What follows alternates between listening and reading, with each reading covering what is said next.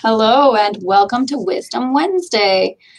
Today's episode is episode 19, and I'll let Darin tell you all about that here in a couple of minutes. But first, I wanted to announce the winner of our lovely IKONICS t shirt. Uh, and uh, this giveaway's winner is Darwin C and we've contacted them and we'll be sending them a t-shirt shortly. So congratulations, Darwin. Thanks for entering. Everybody keep an eye out in case we do another giveaway sometime down the road. And uh, beyond that, though, I'm going to shoot you on over here to Dr. FineGrit and let him tell you all about episode number 19, where we're thinking outside the box. Darin? Hey, good one. I like that one. We're going to have a blast, blast of confidence, but think outside the box. Let's do that, right? Um, one of my favorite topics when I teach seminars is this, matter of fact, because uh, it gets into our homestead. You know, it's we work in a business world that's quick, efficient. Uh, we're trying to get jobs out yesterday, um, but this is kind of a, a subject where it can be closer to your heart, whether it's a rock or an ornament or a sun catcher, something that's outside the box. And what that means is items that are blasted outdoors typically, or you can bring them into the comfort of your cabinet, blast them, and then put the item back outdoors. So we're going to cover a few popular items for this time of year. And um, I'm excited for that. And we are going to touch on some bricks on our next episode because a lot of customers were asking for that. One thing I wanted to mention quick is before we've had a lot of customers ask me I want to see some of your old tricks. Okay, I've had a lot of different things I've discussed with customers over the years, and one of those is abrasive flow. It's a big topic in the summertime where it's high humidity. So I have some tricks here on how to diagnose your issue quicker than later. Um, here I got some coffee pot, or coffee cups rather, but you say pot on it, right? You're probably wondering what that is. So stay tuned for afterwards. I'm going to show you a tip to make your abrasive flow a lot smoother and uh, much better in your process. And we'll do a question and answer as well, as always. So stay tuned for the video, and we'll be right back with you shortly. Enjoy.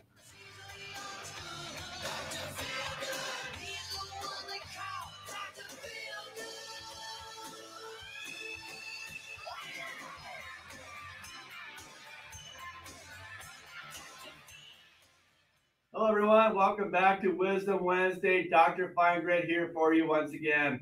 Uh, today's episode is going to cover some items that are normally outside the sand carving box. Uh, so items today are going to be shown like your ceramic flower pot. We're going to cover the rock getting sandblasted. I actually created a jewelry item as well, or a rock you could hang from your soffit or whatever. And also we're going to cover some sun catchers made out of crystal. So those are the items today, just on a smaller scale. I'm not outside to show you how big of an item you can do, like a boulder or a huge flower pot or a big sun catcher. But this at least will give you the idea, hopefully, to uh, expand your horizon, uh, make products outside the box. Because they do make portable pressure pots outside of what we have in our shop here today. So we're going to cover uh, some good ideas and stay tuned. All right, so here we are with our product line today on today's episode, and we're going to use the R5 photoresist film, self-adhesive, rather tacky to work on just about any product. And what we're going to do is we have the artwork created on AccuBlack material. It was printed with Epson. You can also use a Canon or HP printer. If you have further questions on that, just let me know. Um, prints out very dark and dense. Then you put on the R5 material, you expose it, water develop it, dry it. Very simple to work with. Now, the next step is when you work with the R5 material, we're going to apply it to each item. You want to clean the item first with a little glass cleaner, alcohol or uh, ammonia free. Just give it a little clean. Okay, just a little swipe across and that'll clean up the items. On rock as well, if it's very dirty, um, some people actually sandblast it. Give it a good sandblast it first, and that cleans the rock. Um, little tip there. Okay, gives it a nice surface to have the film adhere to as well. So we have our smart jig we'll be using as well. So these are the ingredients here today. R5 photoresist film, the AccuBlack inkjet material, ceramic flower pot, a glass or crystal sun catcher. And I'm gonna do a rock that's already got a hole in it. So I did that with the sand carver. Pretty neat trick, right? And then I'm gonna blast this other rock item I found outside. So, and our spark jig with the squeegees and the wire wheels. So these are our ingredients here today. And my next step is I'm gonna apply it and then start sandblasting. So, okay time.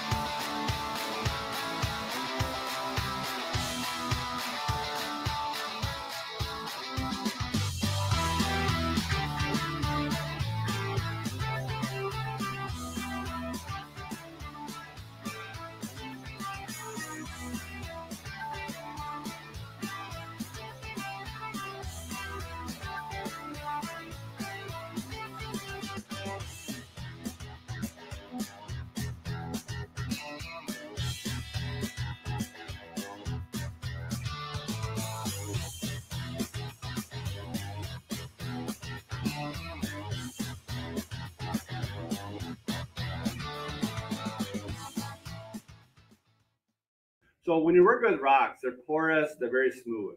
Okay, they might be dirty.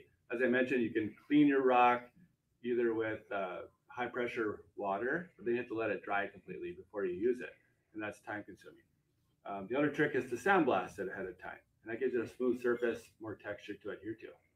However, sometimes the rocks are still kind of a an angry animal to work with.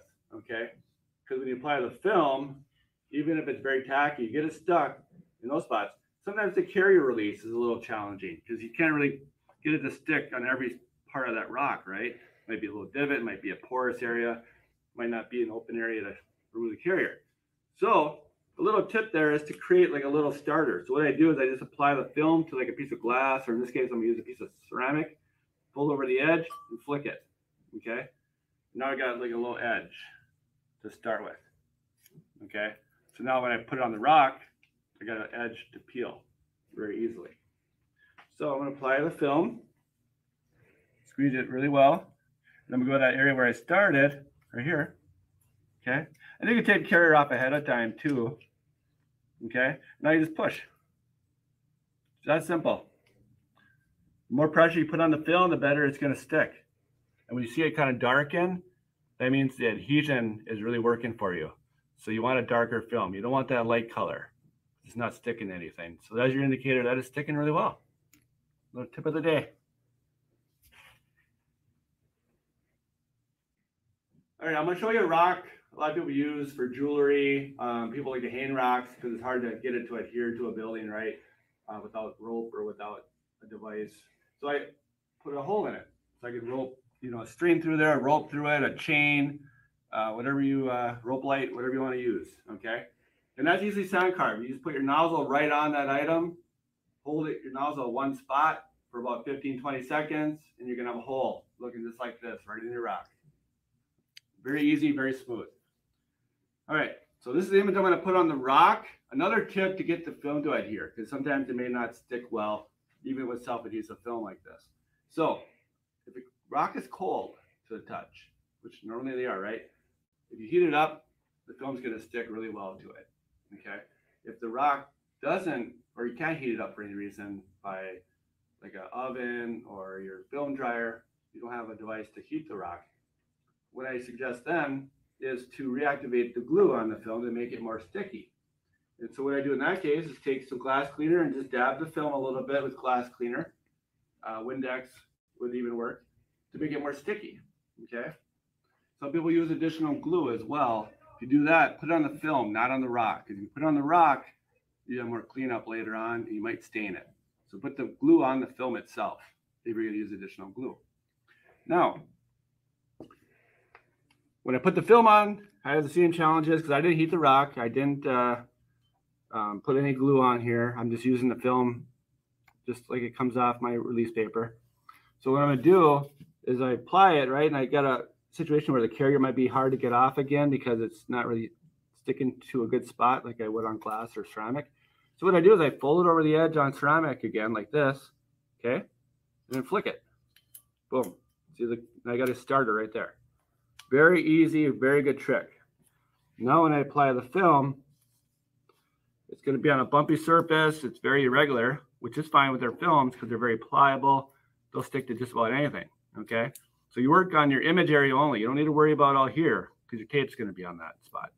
So work on your image area, apply good pressure, and then like I showed you, I have a little start with my carrier.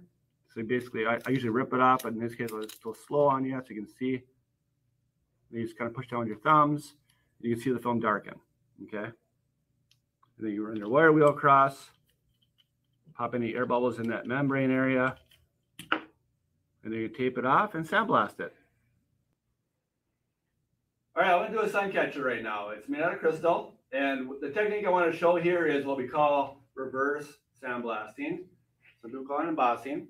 Basically, just the backgrounds being sand carved instead of the foreground.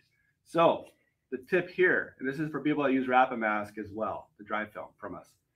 When you work with the sandblaster on reverse images like this, when you run your nozzle, trace your lettering, because I know most of you use silicon carbide abrasive, which gives you that flashlight effect. I'll show you in the carving how it works, but you'll run your abrasive right over the lettering, like you're tracing it. And that what that does is it bonds the film to the glass. Because like I mentioned in other episodes, the glass is not perfectly straight all the time. It's got little dips in there that are not visible with the naked eye. So when you run your nozzle across, it pushes the film down very tight and it'll never lift up on you. So no blow-offs. Like the tip on here, if you trace around the outside, you have a very, very thin tip, if you trace the outside, that tip's going to stay down. It won't lift up on you. So just do a little trace over your lettering and your outside. You'll never, ever have a blow off. Once again, I'm using the 180 silicon carbide abrasive, also known as fine grit. Okay. And what I'm going to do is my nozzle four to six inches away and run my silicon carbide right over the lettering. You can see the lettering just kind of trace, hold down itself. Run the outside perimeter, hold down the outside really well. There you have it. There's your reverse edge. Very easy if you do the tracing effect instead of the back and forth motions.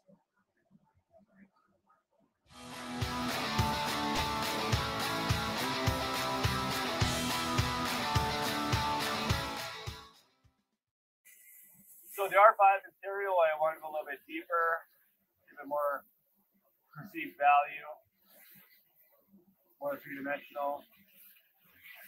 I can go about a quarter inch deep with the five mil material and glass and crystal.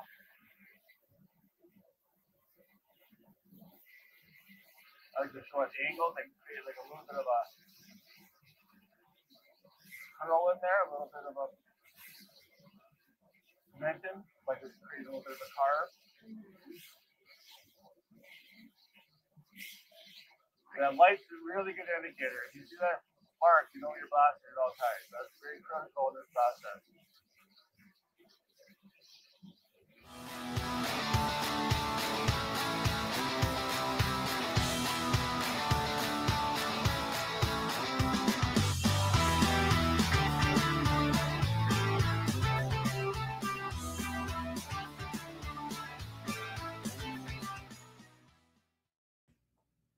All right, this one, this is a ceramic flower pot. Uh, you could also order ceramic or porcelain coated product. Some of these materials are very thick on the coating, so some are more challenging than others. This one here, I'm going to actually use a technique where I do little circles. And what that does is like an orbital sander. It's going to basically remove material in a kind of a vortex or a um, tornado kind of action. So it creates more of a, a cleaner and faster effect on ceramic. So without further ado, I'm going to put this in the machine and start blasting away.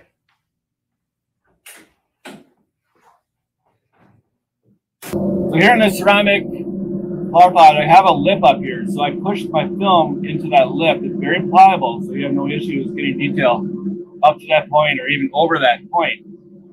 Uh, the other factor here is it's ceramic. It's got a very thick coating on there. Okay, so we use what we call orbital sander kind of sandblast look. So you can put your nozzle in small little circles.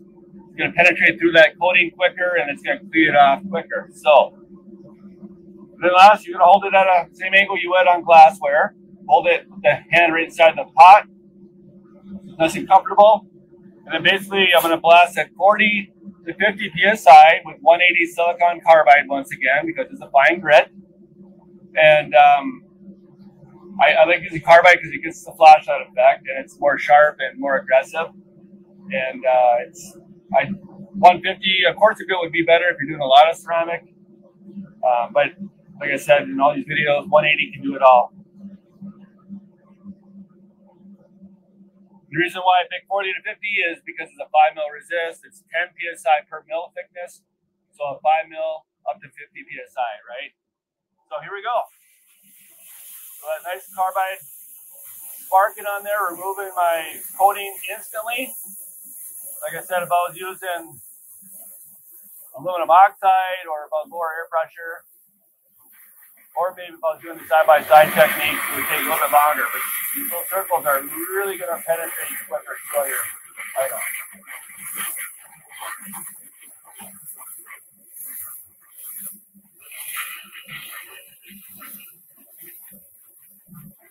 Very, very quick once you get that orbital little look going. Just give you an illustration, go back and forth like this. That's all look. It takes a lot longer, right?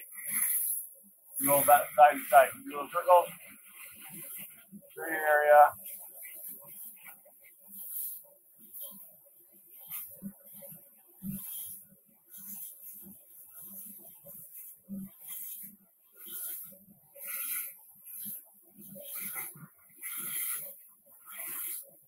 A lot of questions I get with blasting ceramic too is what if I go too deep? In the most ceramics, you have what we call a white primer underneath. So the primer is usually white. So when you hit that white primer, you stop. And that gives you a white color. It's protected for the life of the product. In this case, there's no primer. It's just a ceramic material, which is beige. So it's very porous. So if I was going to put this outdoors for a long period, I would put like a varnish or a clear coat over this area to protect it for longer years. Because otherwise, you might get like soil deposits or, you know, colored product in there staining that area. So put like a varnish in there because it's very slippery. So nothing will adhere to it. Okay. So there you have it. There's our sandblasted porcelain ceramic pot with 180 carbide abrasive.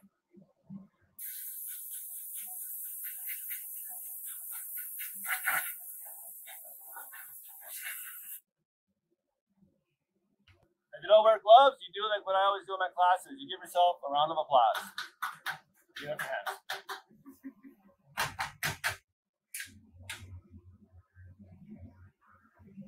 All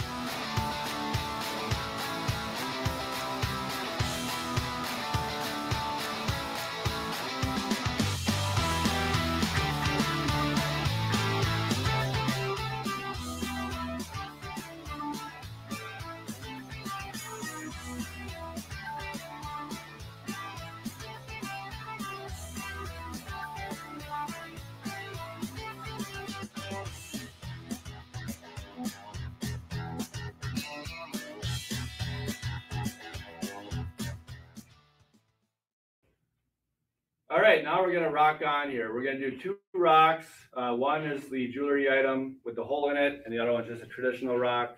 I'm gonna do these with R5. I'm also gonna blast at only 30 PSI. And the reason for that is when I blast at a lower air pressure, I'm gonna move my nozzle at a slower pace, holding the film down. So that way the film doesn't lift up. So slower wins the race when you do rock or any porous item.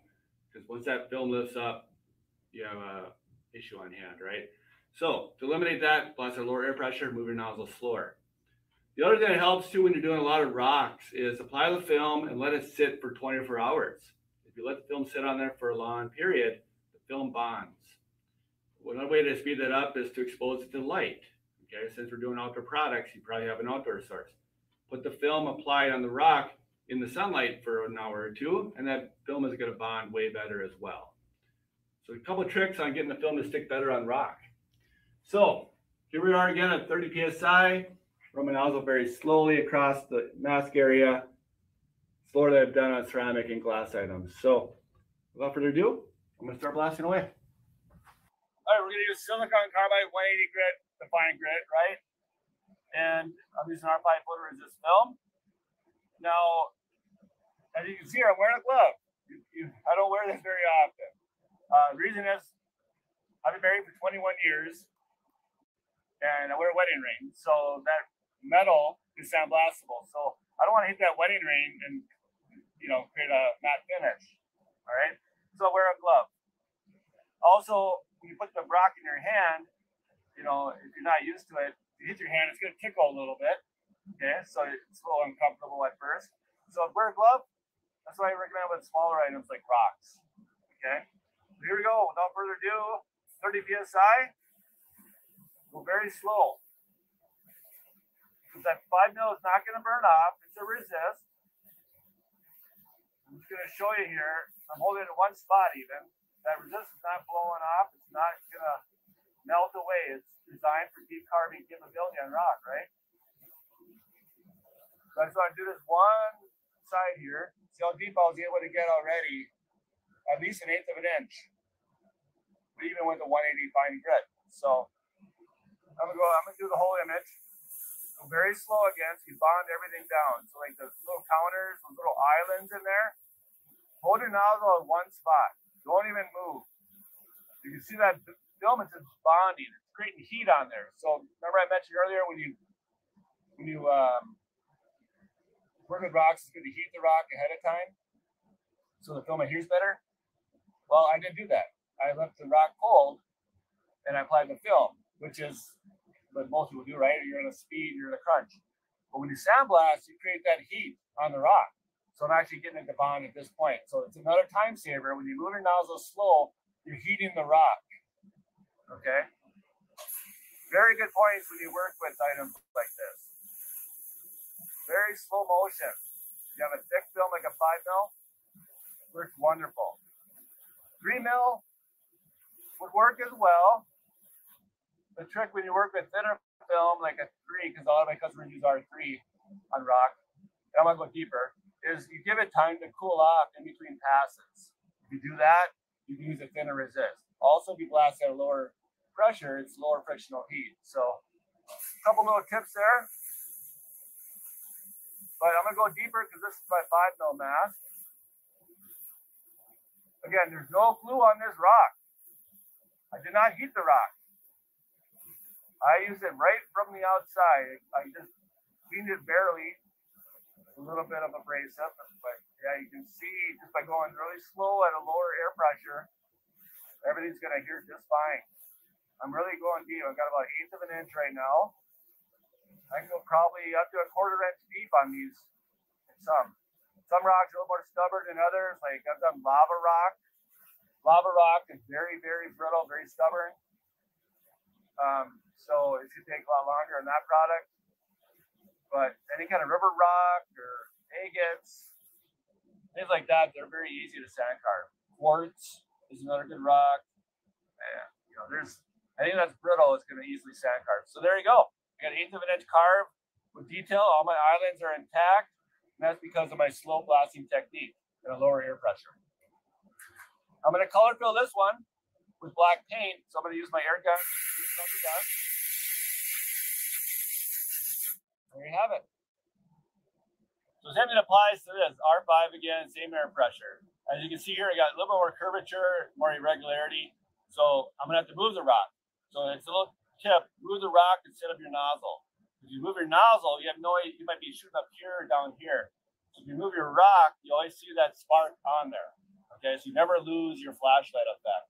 So that's another tip. Move your rock, not your nozzle. Okay, here we go.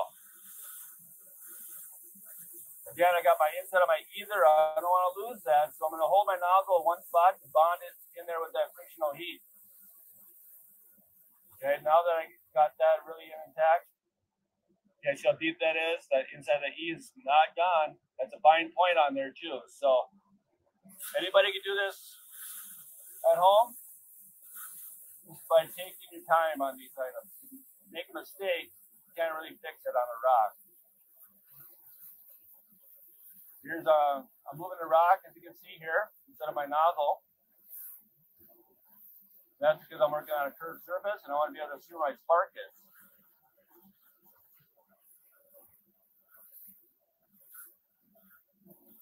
Rocks are very fun to do. Very good hobby. It's very good profit as well. Um, I like to put a lot of holes in them or, or uh, little countersunk holes for like candles. Um, I also like to do uh, a lot of bigger rocks. I put big boulders in here at times. Uh, I think it looks amazing outside some of these uh, doorsteps. So, done a lot of a lot of variety over the years, and very uh,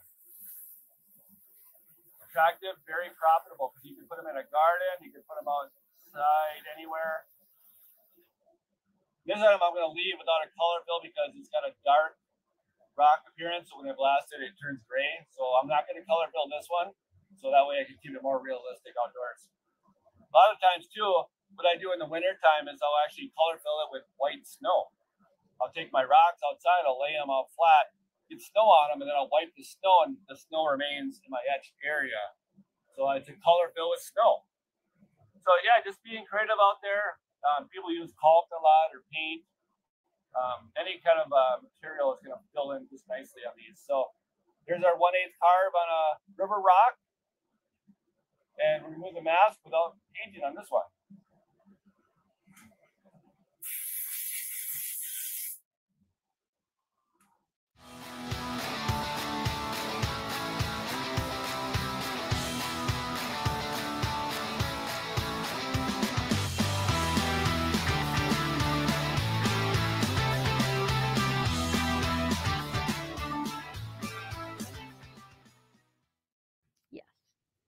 All right, so you can see as a rock on the dark one, it got a dark surface and my gray edge. Okay, so it's good contrast. I don't need a color fill.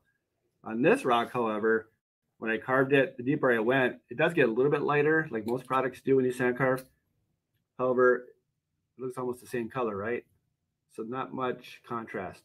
So what I do in this case is I'll color fill it. So I'm using my oil-based marker from Sharpie again, because it's a very clean process if I use spray paint, it's going to get kind of messy. And let's say I wanted to color fill different colors like red, black, yellow, whatever. I could do that with these Sharpies all in one shot instead of having to wait for paints to dry.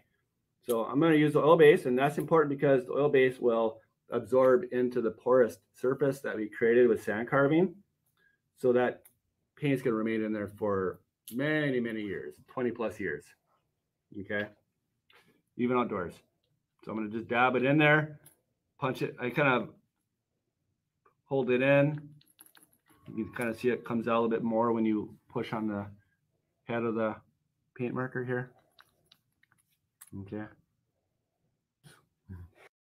So yeah, now you're starting to see it come out more fluidy. So you don't want to put a whole lot of paint because that's where people run into problems when they over paint items. The paint creates a shell and it's more messy and it creates harder to get the film off afterwards. So, so smaller rocks, you can do it this method. A bigger rock, I wouldn't use the marker. I'd use a regular oil-based enamel in a spray can, like a Belton or One Shot. I use Rust-Oleum. Any automotive paint, again, is oil-based. So any of those are going to be fine.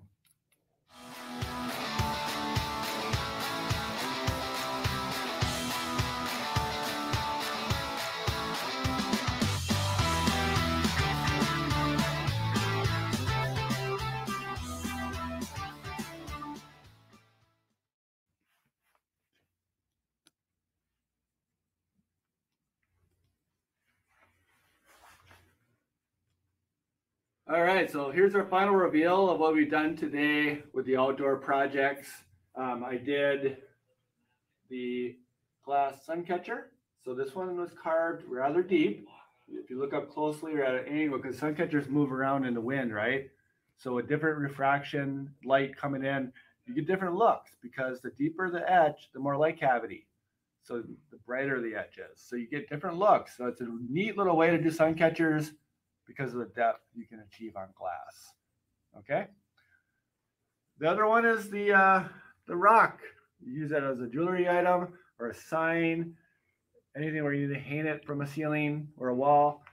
Uh, a lot of people use it for jewelry, like I shown here. So I put a hole in there with the sand carving machine. I held a nozzle in one spot until it created a hole. I don't do circles. I just leave it in one spot, and that's how I got my hole. Nice and smooth. Doesn't hurt on either side, so that's a big advantage. Also, it doesn't take very much time either. So easy way to create a rock with a hole. And I put an etch on there and color filled it with an oil-based enamel. That enamel is going to last a lifetime. So really good way to accent your rocks, uh, carry those around, and whatever. Then we move on to the other stones. Uh, this one's more of a smooth stone that I found along a river. So those are easy to apply the film, sand carve it, paint it, and remove. Smooth, so I can get about any mass to stick. No additional glue, no additional heating method. It's very easy. Now when I get into like this type of rock where it's got bumps and crevices, uh, valleys, pits, you name it, uh, it's a little more challenging for the film to adhere. So that's where I'd use the tips that I mentioned earlier. Okay. Here's another rock. I got a smooth, like a almost like an agate, carved really deep with a tegrapa. So it's a nice little way to offer to your customer, especially if you're in a tourist area. And then here's the other rock I did. So carved with no color fill because of the contrast capability without color. So those are some stone products, some outdoor ideas like the ceramic, add your flower. This is good for a lifetime outdoors. It would not fade. It would not discolor because it's got the uh, coating on there. And carve deep into a crescent. So another sun catcher idea for an award. So one last thing I want to mention on the stone side, and uh, as you know, this has been kind of a beginner, kind of introduce you into the stone market. I've done many classes with brick carving as well. I like to get more into that down the line if you're learning or want to learn that process. Here is the big part I want to mention on that. When I work with bricks, I'm using the same grit 180 mesh on all the projects we've done in this Dr. FineGrit series. That's the fine grit. If I was going to put a brick in my machine that I do crystal and glass and so forth, I wouldn't want any debris to fall back into my abrasive because that would contaminate it and lead to problems down the road. So the one brick I do not recommend first, do not, is the concrete bricks. There's a concrete brick that you get at Home Depot. Uh, it's got aggregate in there. So little rocks in there, little pebbles that when you sand carve around that rock, because the rock is harder than the concrete material, the rock is going to fall off, kind of break away. And that falls back into your abrasive possibly.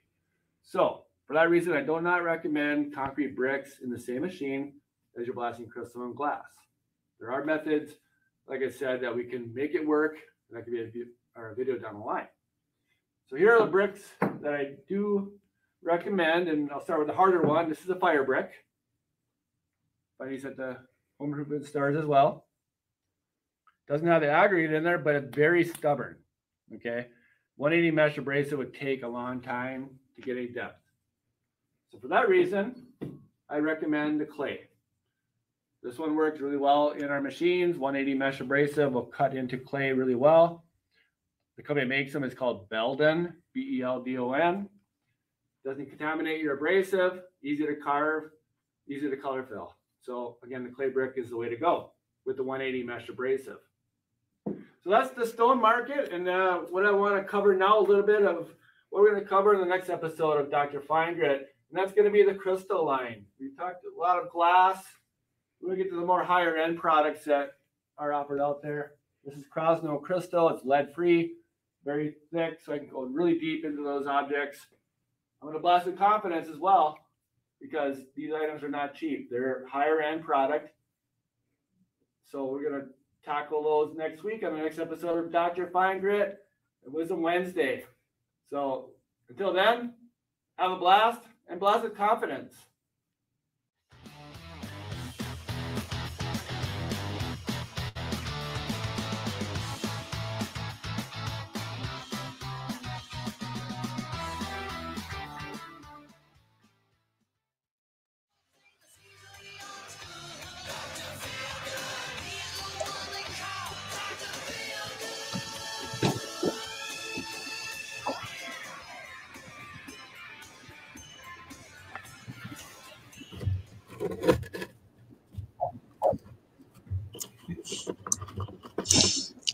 Right, Darin. Uh, once again, a nice uh, informational video. We even have a viewer who says uh, every time they watch, they learn something from you. so that's great. Speaking of learning stuff from you, you have a little tip there for us? Yeah, as promised, I, I try to hold to my promises. So I'm going to show you a tip that I get a lot of calls on during the summer period, and that's high humidity situations. Uh, a lot of my customers in Florida, over the ocean, you know, all over the area where high humidity is an issue, the abrasive flow doesn't work as well. And so I'm going to show you what happens with abrasive. Okay. This is Dr. FineGrit, right? So this is a 180 silicon carbide. And I made these little miniature pressure pots. All you need is a coffee pot or a coffee cup rather. You will need a quarter inch drill bit and your abrasive. That's all you need to do this. So what you do is take your coffee cup, could be a styrofoam cup, could be anything that's easy to puncture with your drill bit. And basically all you're gonna do, see what I did here? Put a hole in the bottom, right in the middle, okay? That's your quarter inch hole opening. That's what is in the mixing valve on our crystal blast units. So those holes are exactly the same size. All right. So some of you might know where I'm going with this. All right. when the abrasive falls from the pressure pot, goes into a mixing valve, and it goes down below into the chamber down below, and then it gets siphoned into an anti-siphon tube. Okay, so that's what that is in there. So if the abrasive flow isn't coming down very smooth or efficiently, then you have clogs, then you have a lot of spurts of abrasive. You get sand for a long period, then air only. Uh, then you usually have to do a purge or something like that. So here's a trick you can do right from the start, so you never have these situations. And you know, what I would do is make your little pressure pot. And here I just have my lid for my abrasive. as my catcher. Something easy. Okay, so dump it right back in afterwards. All right, we have our sand. Basically, you just dump it into there, and you're going to see the abrasive flow. All right. So if I if I dump the abrasive right in the center, see how it pours right out, very smooth. That's how it's going to come out of your nozzle as well. Very smooth, very round. As you notice, it's not catching, it's not spurting, it's not doing any of that, right? So this is really good dry abrasive. You will not have an issue in your process with the abrasive flow if you do this test. Um, because sometimes the grit suppliers, not us, because our all of our packages are fully sealed. Some suppliers put their bags on concrete floors. Sometimes the abrasive is not tested ahead of time, so it's damp before you get it. So it's good to test the abrasive before you throw it in your machine. So, and then as you know, when you get low on abrasives, see what happens? See how the spatter is getting a little smaller? And then if I tap the pot, comes out, that means I'm getting low on my abrasive, okay? So if you look down in the cup, see how that is? Pretty cool, hey? So that's like 10 pounds of abrasive. So that's when you add abrasive, okay? And look at there. Now you get your good flow working again. So just a very simple test that you can do with your abrasive flow. If you want, you can kind of look in the center as it's coming out as well. I, can't show that on the video. Um, but if you see the grit sticking to the sidewalls on your cup, it's going to stick on the sidewalls inside your pressure pot as well. So that's a sign that your abrasive might be damp. All right. So there's a quick little test how to do that. Now, what I'm going to do, I'm going to show you what happens off screen here because I'm going to plug in my steamer. I'm going to create humidity. Okay. Steamer here. So what I'm going to do, take one of my pots. All right. Fill this up. Okay. Coming out really nice and smooth, very good flow. The abrasive's falling on its own. I don't have to tap the pot to get abrasive to come out like some of you may have to do during the high humidity months. All right, so here's what I'm gonna do. I'm to apply the steam, which is basically implementing like humidity in your process. All right, just a little bit of steam. It's basically, like I said, humidity. It's not water. If I put water in here, obviously it would stick right away, right? So I, I don't want to do that. Okay. So here, now if you look in the middle, that abrasive is stuck. Okay, it's not moving anywhere. Now look at it. Now it's kind of chunky. Okay, see how it's kind of breaking now? So this test you can do. Well, you're not going to do a test like I'm showing you with humidity. You're just going to do the one test I showed earlier. But just something to look for. So if you see that kind of flow with your abrasive or it's chunking up inside there, chances are you're going to have problems in your blasting down the road. So like I said, just a quick little method to see if your abrasive is good to go. Um, the other uh, thing you can do too is just take a salt shaker, put your salt shaker out in your work area. If the salt hardens up quickly, then that's a sign you have high humidity as well. But the reason why I do this is because humidity can get into your machine via your air compressor as well. All right. When hot air is created in a compressor, it, the tank is designed to cool the air, kind of the opposite of a water heater. So if the air doesn't have time to cool, let's say you've got a big project going on, you're spitting out hot air, the tank doesn't have time to cool it, you're using that hot air into your system. When the hot air reaches your cold pressure pot, because you're not heating your pot, right? Just sitting there all day long in the cold dark, it's going to create moisture inside your pot. And that's where you get damp abrasive. So this is another experiment that you can do down the road to scoop up your abrasive in your abrasive hopper and do the same test. If it's coming out smooth, you're good to go. So just a little tip before you start a big project, especially having used the machine in a long period, your abrasive is going to get a little clumpy like this, a little hardened, kind of like salt or sugar does. So do a little uh, coffee cup or whatever you call it. Make your own pot and uh, save you a lot of headache down the road. That's for sure. Well, thanks, Dr. FineGrit, for letting us know how to keep your uh, grit fine. So yeah. we've oh, got one, some. One, one thing I wanted yes. to mention too on that is I talk about the hot air from your compressor. If that's the situation, you can get what we call an ambient air dryer. That's what I have on my computer screen, but I'm sure Laura can send out information if you need it. The ambient air dryer cools that hot air from your compressor down to about 67 degrees.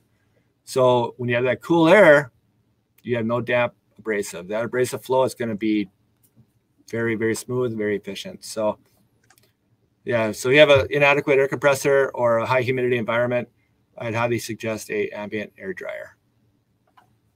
All right. And if you would like to look into purchasing any of our products, we do have a website, or you can call any one of our wonderful sales reps, and they're always willing to help you. Uh, our website is ikonicsimaging.com, and the number is scrolling at the bottom here. It's 1 800 643 1037. Now, that does lead well into some of the questions we've gotten today.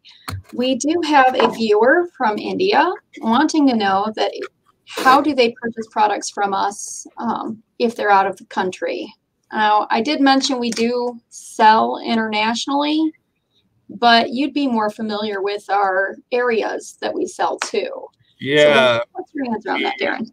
Where was the country? I'm sorry. India. India? Mm-hmm. Uh, yeah, we have a distributor in India. Um, I'm sorry I don't have the list in front of me, but if you could email us, uh, you can email my email, djones at ikonics.com, and I can get them in touch with the appropriate distributor we have out in India. Um, but yeah, we have distributors all over the world uh, Germany, India, Australia. Um, we have some in uh, South Africa, Ireland. So yeah, we have variety of uh, distributors with our products they'll have like the rapid mask, the washout films, and possibly some equipment options. But it, I know the film at least we can help them with in those areas. Okay, that's some great information. Now we're going to move on to some of the questions uh, involving our video this uh, week for the garden. Mm-hmm. Robert Richards here wants to know what film are you using and are we using the same film on all of the items? The yeah, great question, Robert. Uh, film, I use R5. I, that's my go-to film on rock and brick because it's very pliable. It's very sticky, and you know it's got good resistance, of course, to get depth. Um, so that's the R5. Now, what was the second part, Laura, on that one? Uh, if we use the same film on all of the items in uh, this in, episode. in this episode, yes, yes, I use R5 on all the objects. Um, you know, I'm trying to keep it simple, just like this whole 19 series has been 180 mesh abrasive, one grit for everything we've done thus far, because I don't like to see customers having to change abrasive to do each project. They should never have to do that. So, just like with the film, I try to keep it one film, maybe two, uh, based upon your product line to do these. So five mil R5 is my go-to on just about every product unless I need finer detail. All right, that's great. Okay, we have a new viewer, Mark here, wants to know what markers we were using and of course, which ones would you recommend for paint filling? Yeah, um, well, in this one, I use the markers because I was painting on a desk. I wasn't in a well ventilated area. Um, you know, typically on rock and stone, you'll paint with um, like a Belton or a Rust-Oleum or an automotive enamel, and it usually comes in an aerosol can. Um, but considering I wanted to keep it simple and and do smaller objects, I used a Sharpie oil-based marker. Uh, you find these at Michaels or Pearls, any kind of hobby craft type of store. Um, just the key factor is oil based. It's got to be oil based. Um, if it's not, the water based product will come right off like your washable markers. So oil based enamel. Um, so yeah, that's what we used. I, I, I use that for a lot of multicolors primarily because I can do red, yellow, black all at once instead of having to wait between colors. And uh, and smaller objects. I don't want to waste a whole lot of paint and that setup and dry time. So I, I like to use the markers for smaller projects too. Okay, thanks. Um, let me see. How small of a project do you recommend doing? So I noticed the stones are rather small. What's about the smallest size object you'd say you could probably do? Well, good question. Um, jewelry. I don't talk about jewelry much in my episodes, but uh, I've set up a lot of companies over the years, whether it's Tiffany Company or Spice Jewelers on Baltimore. Um, a big hit back in the day was Pandora bracelets. I don't know if you remember those little pebbles on your wrist. Hmm. Um, we had customers doing those, putting like initials, you know, dates, birth dates, things like that, right on the Pandora bracelet. Um, golden rings, like your wedding ring, people have done that. Um, but yeah, jewelry items would be probably the smaller, smallest objects I've ever seen. And those, it's funny when I walk in those jewelry places, they're wearing those big eye things with the uh, magnifying glasses built in their glasses, and they have to, otherwise you can't see the lettering. So our film is really good for detail. I'll give you that. Um, it's it's amazing what they can do with our film technology. They're really expanding the limits on it. That's for sure. That is for sure. And uh, I know here at IKONICS Imaging, you guys are always uh, kind of pushing the limits and seeing what new products you can bring for people to help them uh, realize their creative dreams. Right. oh, yeah. So we definitely like that. Speaking of that, next week we're going to bring them some more tips and tricks on how to do some bricks. Uh, I know we had mentioned the crystal, but we got so excited about the stones and rocks that uh, we decided to bring you some more uh, tips and tricks on how to actually do some brick pavers rather than just mention them. So stay tuned for that. And uh, of course, have a blast. But um, anything yeah. else you want to tell them before we sign off and see them next week, Darin? Yeah, uh, covered a good subject today. We're going to carry on the next week with the brick blasting. Um, so looking forward to showing you that episode. But just keep the questions coming in. Uh, I appreciate working with all of you. Um, a lot of technical things on the machines this time of year again with the humidity causing some of the problems. So just uh, keep in touch with us. And if, if just like anything else, if anything takes too long to do, if it's like there's no way I'm making any money at this, give me a call because there is a way to make money in this world on this process, but you got to know all the steps to get there. And so don't be afraid to call, email, text, FaceTime, watch all my videos. Uh, that's definitely going to help you as well. And I appreciate all of you watching, and uh, we'll keep going with these until you know until we start can do uh, live seminars again, right? Exactly. And, uh, you know, be sure to check our website for any specials on equipment if you're interested in our products and always whatever events that we might actually be at in person, you know, when those happen again, including live workshops with Dr. FineGrit himself. So until then, blast with confidence. Here's, here's by the way, that's just to show you, this was just a full cup of abrasive that we did earlier. And it's all clumpy. So that's what happens. So if I let this sit out for a long period, it'll be fine. But it's it's that matter of losing that step. So thanks again for watching, everyone. Lots of confidence and always have a blast out there. All right, Take we'll care. see you next week. See you next time.